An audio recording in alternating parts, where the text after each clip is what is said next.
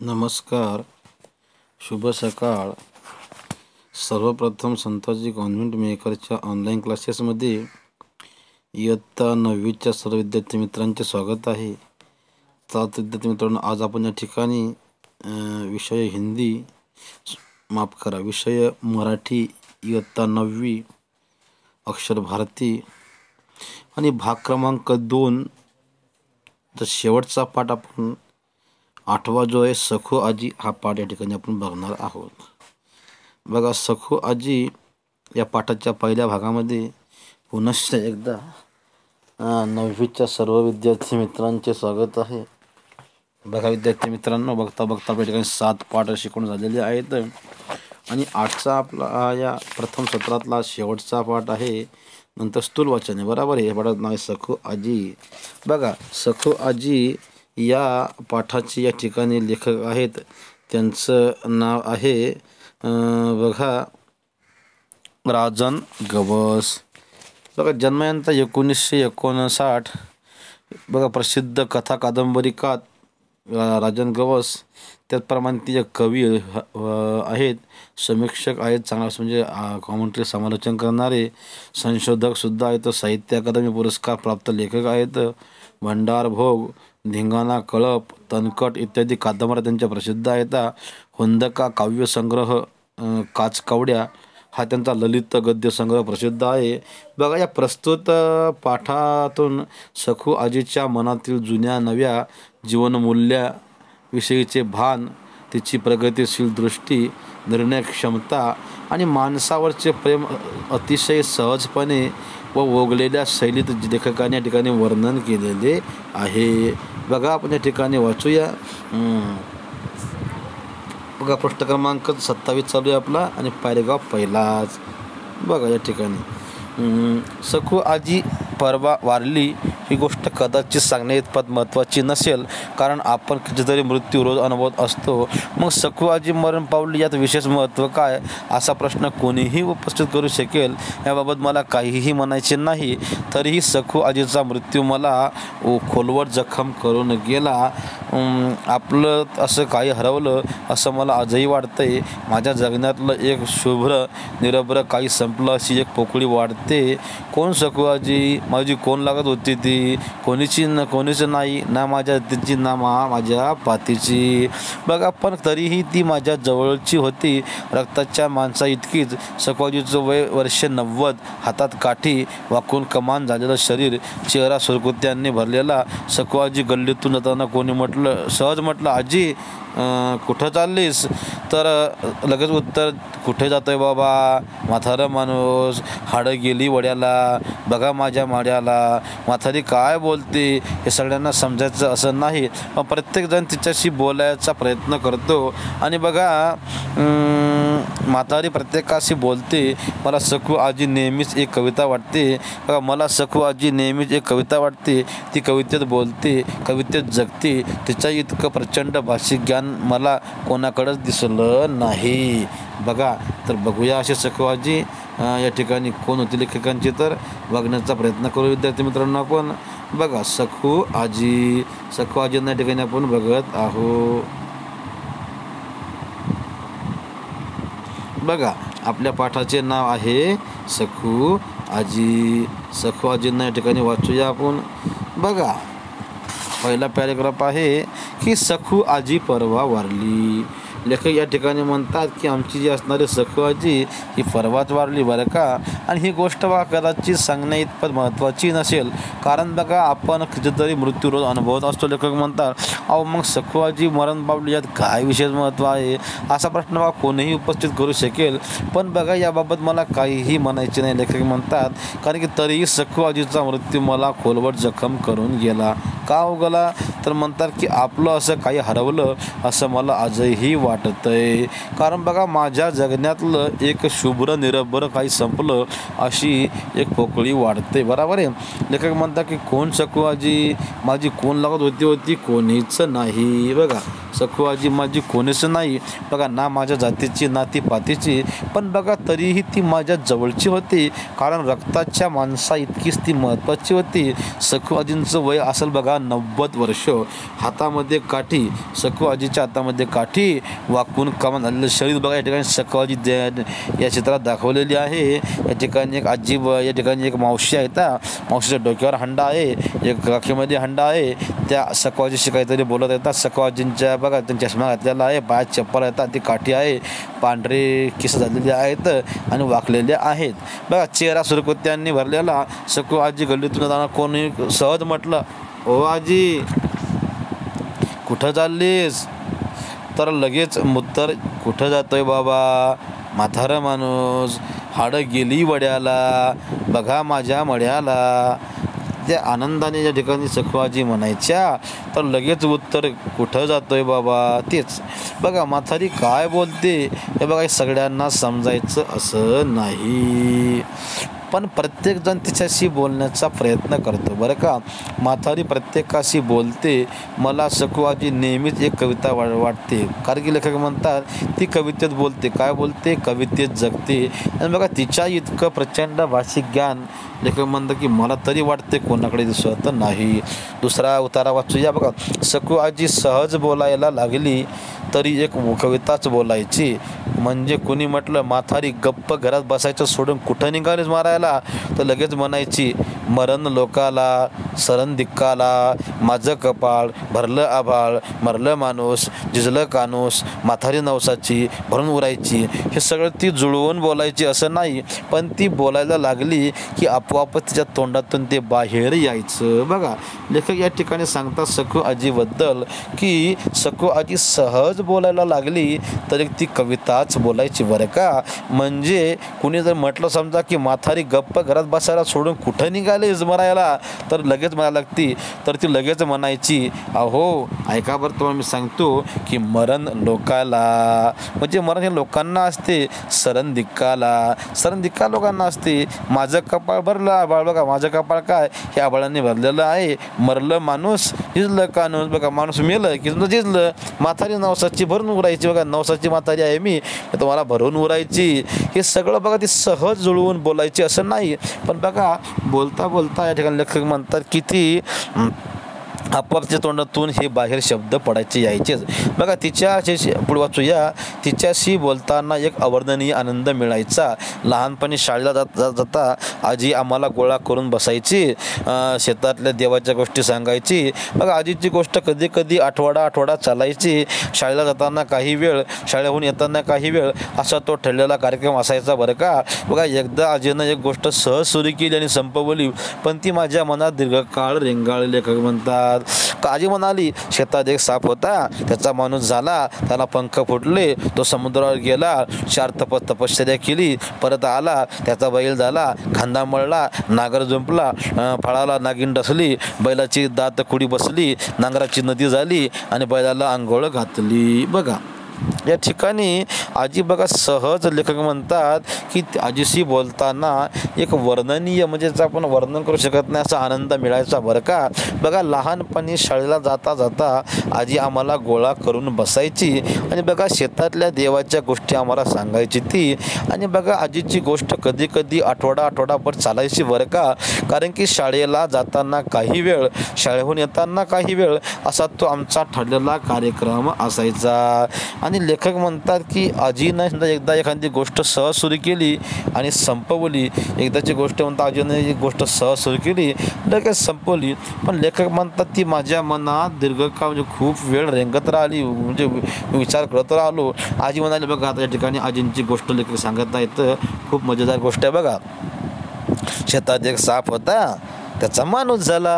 अहो त्याला पंख फुटले. तो समुद्रावर गेला. चार तपश चार तप तपश्चर्या केली परत आला त्याचा बैल झाला त्यानं खांदा मळला त्यानं नांगर झुंपला आणि बघा नंतर म्हणतात की फाळाला नागिन डसली बैलाची दातकुडी बसली नांगराची नदी झाली आणि बघा बैलाला आंघोळ घातली. असं या ठिकाणी सांगत होत्या पृष्ठ क्रमांक चालू बघा आपलं अठ्ठावीस. या ठिकाणी आजीबाईची गोष्ट पूर्ण करूया. बघा पुढे काय म्हणतात आजीबाई तर त्याचा साप झाला नागिन्याला घेऊन पळाला. हे सांगताना आजीच्या चेहऱ्यावर बदलणारे भाव हातांच्या हालचाली या साऱ्यातून सारं आपल्यातून उघडत आहे. आपण पाहत आहोत असे वाटून अंगावर शारे यायचे. बघा लख या ठिकाणी सांगतात की नंतर आजी म्हणजे त्याचा साप झाला नागिन्याला तो पळून घेऊन पळाला. हे सांगताना बघा आजीच्या चेहऱ्यावरचे बदलणारे भाव या ठिकाणी त्यांच्या हाताच्या हालचाल या साऱ्यातून हे सारं आपल्यासमोर घडत आहे. आपण ते पाहत आहोत असं वाटून अंगावर शहार यायचे बरं का? आणि बघा लेखक म्हणतात की ही गोष्ट ऐकल्यानंतर कित्येक दिवस ही गोष्ट माझ्या मनात जशीच्या तशी घडायची. लेखक पुढे म्हणतात की काय म्हणतात लेखक बघा ही गोष्ट ऐकल्यावर कित्येक दिवस ही गोष्ट माझ्या मनात जशी तशी घडायची. बघा बैल आंघोळ करायला लागला. या ठिकाणी लेखक म्हणतात की समजा बैल जर आंघोळ करायला लागला तर की डोळे घट्ट उड्या पडायचे तिथून पुढे झोपत लागायची नाही कधीतरी आपल्या स्वप्नातला साप नागिन घेऊन जाईल आणि आपल्याला हे स्वप्न बडायचं बंद होईल असं वाटायचं बघा. पण कैक वर्षात असं कधी घडलं नाही. ही कथा कधी अचानक स्वप्नात येतेच. आजीचे काही गोष्टी सांगितल्या. बघा आजीनं लेखक म्हणतात पण एवढीच कधी मेंदूत ऋतून बसली? पण हा प्रश्न बघा अनुत्तरित होता. म्हणजे या प्रश्नाचे उत्तरच नव्हतं. बघा त्या काळी आणि त्यानंतर त्या गोष्टीचा अर्थ आजीला विचारला होता तर ते फक्त हसायची बघा आजी. मध्येच एकदा म्हणाली बघा गाव गरनील गरतीला सपान धरतीला धरती दुपावली माती हराकली. आता हे कोणाला कळणार? नंतर माथाजीला काहीच विचारलं नाही. बघा लेखक म्हणतात की आजी म्हणाली काय म्हणाली? अहो गाव गरतीला आणि सपान धरतीला धरती दुपावली माती हराकली हराकली. आता बघा कोणाला कोणाला लेखकमध्ये कळणार नाही. याच्यामुळे लेखक म्हणतात की नंतर मी या आजीबाईला काहीच विचारलं नाही. नंतर बघा सखू आजी गावातल्या कुणाच्याही वारशाला लग्नाला मैताला हटकून पुढं असायचीच. सगळं तिच्या म्हणण्यानुसार चालायचं बरं का? बघा तिच्या शब्दाला चॅलेंज नसायचं. गावातल्या बायपण माणसात ती एकदम बरोबरीनं वावरायची. एकदा गावच्या लक्ष्मीची जत्रा ठरली इडं पडलं चाकबंदी झाली. अशात गावातली वस्तू बाहेर जाऊ द्यायची नाही. Bye. असा नियम अशात साधबा घोरपड्याचा पोरगा वावग वागला. गाव बैठक बसली पंच म्हणाले रिवाजानुसार साधबाच्या पोराला दंड करायचं. सगळ्यांनी मना डोलावल्या. निर्णय फायनल एवढ्यात माथारी उठली म्हणाली पोरग मांडीवर घाण करते म्हणून मांडी कापतं व्हाय का सगळे टाळा पळगळ पगळून बघायला लागले.